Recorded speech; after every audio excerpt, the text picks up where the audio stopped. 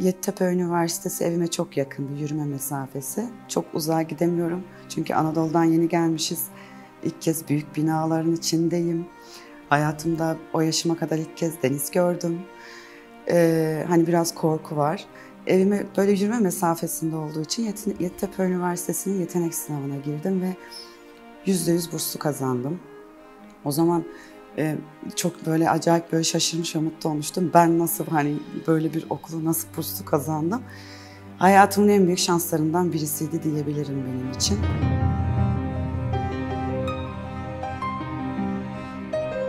O işte çalışırken ki işte mutluluğum, hüznüm, acım, ne bileyim sevincim, her duyguyu o resmi akıtıyorum ben. Gerçekten benden gidiyor. Nasıl oluyor bilmiyorum. Ben o duyguyu verdiğimi de aslında fark etmiyorum. Resim bittikten sonra karşısına geçip seyrettiğimde vay be diyorum.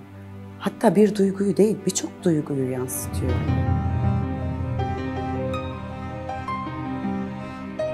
Anadolu'da doğdum, büyüdüm ee, ve orada çocukluğumda e, hatırlıyorum 4-5 yaşlarımda e, taşla e, büyük kayalara resimler yapardım.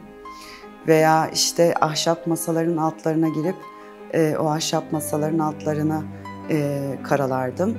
E, sanırım bu içgüdüsel bir şey. Yani doğuştan böyle gelen bir şey mi diyeyim artık bilemiyorum. Hep böyle bir resim yapma isteğim vardı. E, bundan yola çıkarak ben aslında o zamanlar e, çok kendimi keşfetmemiştim. E, daha böyle ilerleyen zamanlarda ortaokul dönemlerimde e, ne zaman ki işte coğrafya dersimde öğretmen harita ödevleri verdi çizmemiz için. O zaman bir baktım ben gördüğüm bir şeyleri çizebiliyorum. Ben bir harita çizebiliyorsam o zaman gördüğüm her şeyi çizebilirim mantığıyla gidip o zaman eski kartpostallar almıştım işte Ferdi Tayfur, Orhan Gencebay, Müslüm Gürses, Sibel Can. Bunların kartpostallarını çizmeye başladım. Daha sonra e, hep böyle hayatım hep onlar bir yani bir şeyler çizmeyle geçti. E, 17 yaşıma kadar ben e, köyde yaşayıp büyüdüğüm için 17 yaşımda mecburen e, ailemle birlikte İstanbul'a taşınıp gelmek zorunda kaldık. O zaman tek amacım, tek hayalim vardı resim eğitimi almak.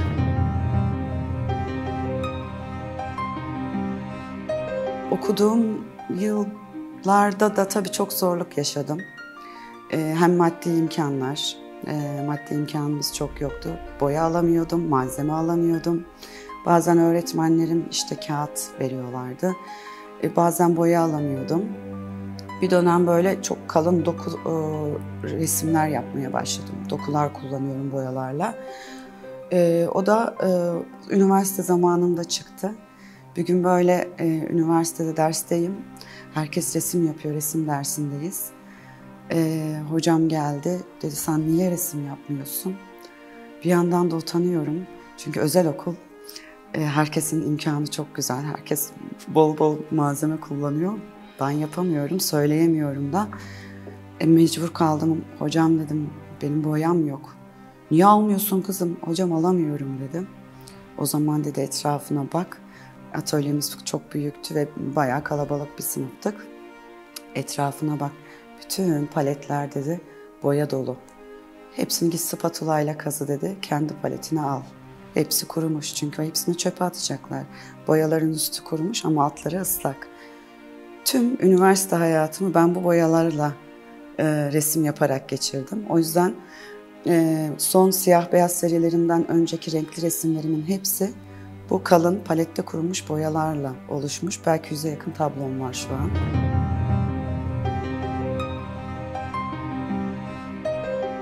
Tabii figür de yapıyordum o zaman yine. Figür çalışıyordum ve bu kalın boyaları e, rastgele tuvallere e, koyuyordum. İşte sonra altındaki ıslaklarla da işte etrafı boyuyordum. Birçok galeriye gidip tablolarımı götürdüğümde dediler ki bu işte kalın e, boyalar kadının yüzünde kolunda yara gibi duruyor, çirkin duruyor. E, sen bu işte kadının yüzündeki boyayı düzeltirsen, o kalın boyayı düzelt, normal yap. O zaman biz hani daha rahat satabiliriz veya sergiye alabiliriz. Birçok galeride kabul görmedi. O yüzden şu an e, yüze yakın tablom hala elimde duruyor. Ama diyorum ki Ben şu an çok güzel çirkin kadınlar resmettim.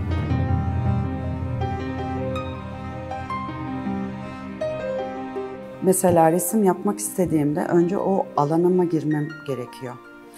O alanıma girip e, belki yarım saat, bir saat arası sadece öyle boş oturuyorum, müzik açıyorum, boş tuvale bakıyorum. Ve o an ne yapmam gerektiğine karar veriyorum. Yani o anki ruh halime göre belirliyorum yapacağım resmi. Önceden mesela bazı sanatçılar, ressamlar eskiz çalışırlar. Asla eskiz çalışmayı sevmiyorum. Hiç bana göre değil. Çünkü ben bir yaptığımı tekrar yapmak istemiyorum. O aynı duyguyu vermiyor çünkü.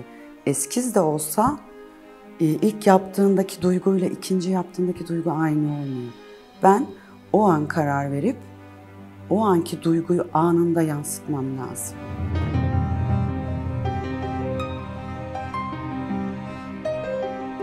Bazen resim yaparken uyuyorum. Elimde kalem. Çünkü oturuyorum, resim yapıyorum. Bir bakıyorum, uyumuşum.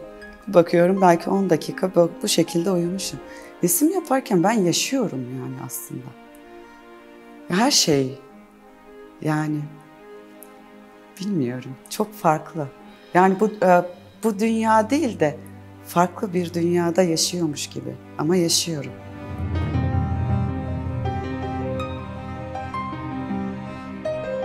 E, kadın sanatçı olmak şu anlamda biraz zor. E, bunu toplumumuzda çok farklı anlamda kullanıyorlar. Örneğin e, Handan Hanım resminizi çok beğendim, resminize bakmak istiyorum, almak istiyorum, görebilir miyim? Tabii buyurun gelin. Resimle gel, ilgilenmiyor insanlar, erkekler. Olay değişiyor. Olay bana dönüyor. Diyor ki ben resim bakmaya gelmiştim ama resme bakmıyor. O anki benim yaklaşım tarzım çok önemli. Ben ne şekilde yaklaşacağım ona göre ya resim alacak şahıs ya resim almayacak. Tabii herkes için bunu söylemiyorum. Ama belli bazı kişilerden de yani bunlar çıkıyor. Maalesef bunlar da var. Bunlarla da mücadele ediyoruz.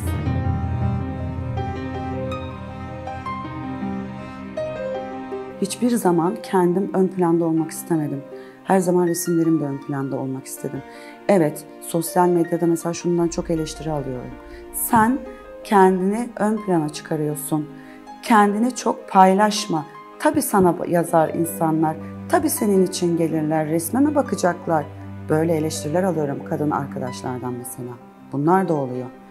Hayır, benim paylaşımlarımın yüzde sekseni, doksanı tamamen sanatsal. Asla ben yediğimi değil, giydiğimi değil.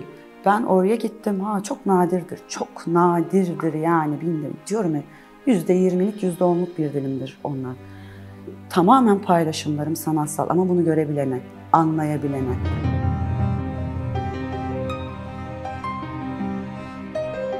Beni çok derinden etkileyen bir olay oldu. Ee, 7 ay resim yapmadım. Ee, ve hani psikolojik olarak çok ciddi bir çöküntü yaşadım. Ve 7 ay sonunda kendi kendime dedim ki benim iyileşmem için resim yapmam lazım. Kalkandan toparlan, Geç tuvalin karşısına. O zaman da e, evdeyim. Atölyeme gitmiyorum 7 aydır. Evde de boyalarım yok. Sadece kalem var, tuval bezi var, tuval bile yok. Bu siyah beyaz resimler o şekilde çıktı. Sadece siyahla, işte kalemle dedim ki bir şeyler yapmam lazım.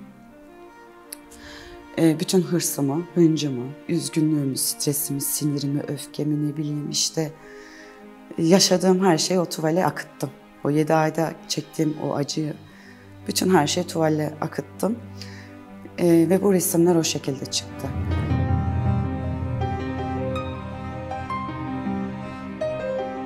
Resim yaparken çok fazla konuşuyorum. Bazen e, yani kaptırıyorum kendimi diyorum ki acaba ben deli miyim? Ama sonra diyorum ki hayır ben bence diyorum bütün insanlar kendiyle konuşuyor. Sadece biz işte e, diyorum ya kendimizi çok fazla açığa çıkarmıyoruz. Herkes kendisiyle konuşuyor ve bence bu çok güzel bir şey. Yani kendiyle konuşabilen insan bence mutlu insandır. Çünkü bir şeyleri kendini keşfetmiştir.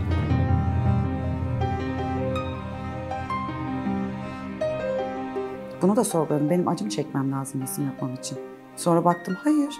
Ben mutluyken de resim yapmak istiyorum ya. Gerçekten yani. Böyle eve giriyorum ya çok güzel bir şey oldu. Örnek veriyorum. Dedim beş tane resim sattım. Ve çok iyi bir koleksiyonere sattım. Benden mutlusu yok. Resmin gittiği için üzülüyorum ayrı konu. Hepsi benim yavrum gibi ama çok mutluyum. Eve geliyorum tabii bir de motive olmuşum. Nasıl mutluyum. Daha da çok resim yapmam lazım diyorum. Daha da çok müzik açıyorum, dans ediyorum, kutluyorum bunu. Veya ne bileyim doğum günüm ya doğum günümü kutluyorum. Dışarıda eğlencedeyim arkadaşlarımla. Eve geliyorum resim yapıyorum. Yani bunun hiç şeyle alakası yok. Acıyla, onunla. Resim yapmak istiyor musun? Bitti. Ortaya bir şey çıkartıyor musun? Bitti. Ben onunla mutluyum. Onunla besleniyorum. Ne acısı ne her her duyguda resim yapabiliriz ya. Yeter ki isteyelim. Bu kadar.